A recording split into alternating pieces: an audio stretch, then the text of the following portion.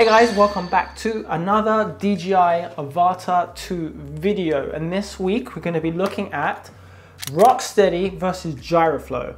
By the way, if I sound nasally, it's because I have been feeling under the weather. So this video is gonna be a struggle for me, but we carry on because I'm dedicated to doing YouTube and I wanted to make sure that this video is on time for you guys. now I'm curious about this one because everyone talks about it so I wanted to test this for myself to see if Gyroflow is noticeably better than Rocksteady. Wow, this video is really hard. I have been struggling, like, I'm, mentally I'm not there. I'm absolutely Not only am I gonna show you some side-by-side -side comparisons between Rocksteady and Gyroflow, but some noticeable, notable, noticeable, really not well I, some notable points to consider before choosing either one of the stabilization methods. If you're new, hello, my name is Demetrios and I create videos on drones, photography and everything in between. And it's a mixture of entertaining and educational content. Oh my God, how am I struggling? if you want to learn more about the DJI Avata 2, subscribe to stay up to date. Now, let's take a look at some clips first.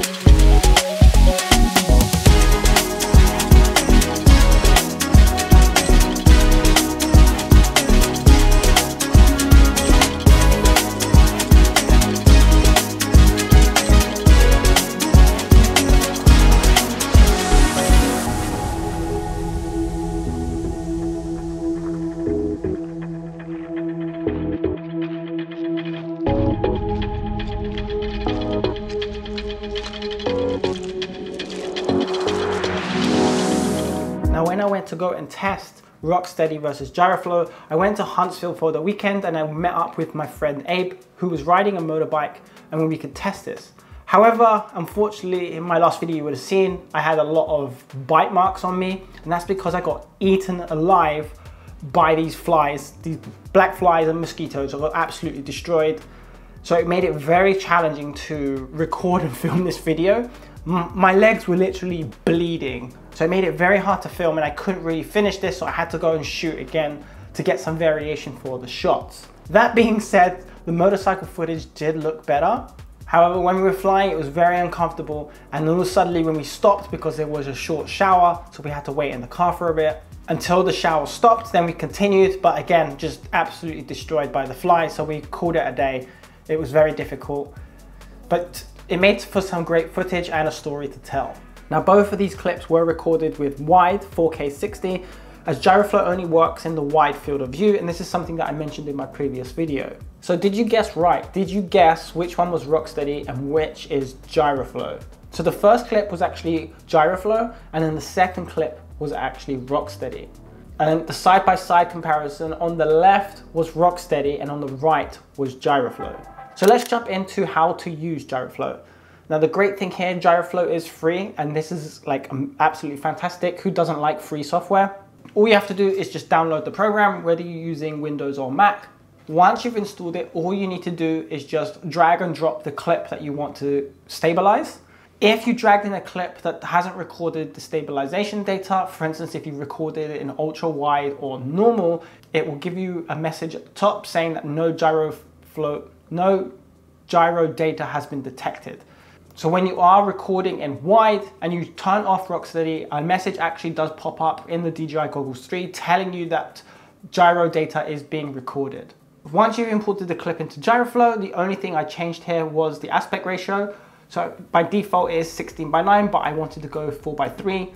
Obviously this would be cropped in slightly in order to smooth out the footage or stabilize the footage, and that's it. That's all it was. It was really easy. Obviously, there's a lot more features and in depth, but this is not that video where we're covering Gyroflow, the program. I recommend that you check out other YouTube videos if you want to know more how to use Gyroflow. However, for doing one or two buttons, it came out really well. Also, using the same clip, I also wanted to try out CapCut, Lightcut, and Insta360 Studio to see if it could stabilize the footage. And let's just say CapCut was the only one that had the option to stabilize, but it wasn't that great. Lightcut didn't have an option and nor did Insta360. So you're gonna have to stabilize the footage first before putting it into those programs. But then again, you'd probably just skip that and go straight to the editing software of your choice.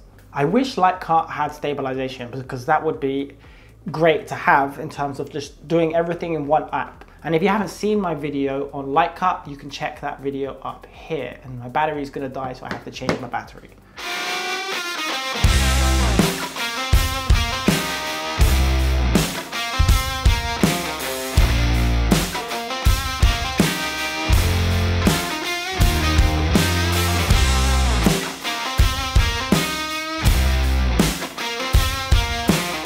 Now let's move on to things to note with either using Rocksteady or Gyroflow. And the first one here, and I mentioned this earlier in the video and in my previous video, is that you can only use the wild, wild, wide field of view in order to use Gyroflow because that's the one that records the gyro data within the drone. And this message does pop up when you turn off stabilization. So if you wanted a wider field of view and wanted to use ultra wide, you have to use Rocksteady.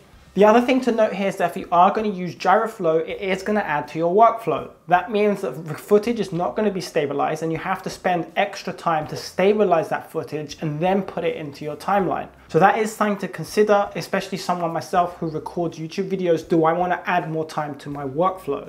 Whereas Rocksteady, which has been seen in most of my YouTube videos so far when I bought the Avata 2, it's been fine. I have not had any complaints. The other great thing here is if you are using Rocksteady, it's quicker to share onto social media and using apps such as Lightcut to share your footage. Whereas if you didn't record using Rocksteady and you turn that off, you'd have to stabilize your footage in Gyroflow and then import it to your phone and then using an app of your choice to create a social media reel. Now, what do I prefer? Having played back the footage, I don't see anything noticeable that Gyroflow is 100 times better than Rocksteady. I do feel Gyroflow is slightly better and going forward, will I be using it? Again, if I'm making these YouTube videos for simplicity, I would probably use Rocksteady.